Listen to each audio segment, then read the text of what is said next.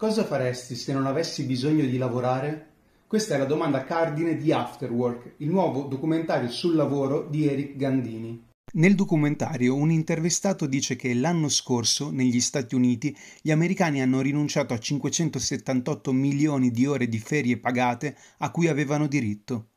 Vediamo inoltre la situazione dei corrieri Amazon in America. Nei loro veicoli sono state implementate diverse videocamere ad intelligenza artificiale per sorvegliare gli autisti.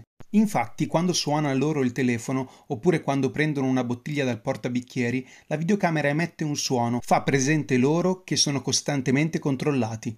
Alcuni e alcune di loro non hanno nemmeno il tempo per espletare i propri bisogni, si portano quindi dietro una bottiglietta vuota per farlo.